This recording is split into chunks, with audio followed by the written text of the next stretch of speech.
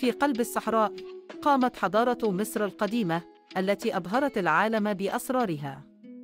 تخيلوا الأهرامات تلك المعجزات المعمارية التي بنيت منذ آلاف السنين والتي لا تزال تقف شامخة. المصريون القدماء كانوا بارعين في الفنون والعلوم حيث اخترعوا الكتابة الهيروغليفية وابتكروا تقنيات الزراعة التي ساعدتهم على ازدهار النيل. كانوا يعبدون آلهة متعددة مثل إيزيس وأوزيريس ويؤمنون بالحياة بعد الموت مما جعلهم يدفنون موتاهم في مقابر فاخرة.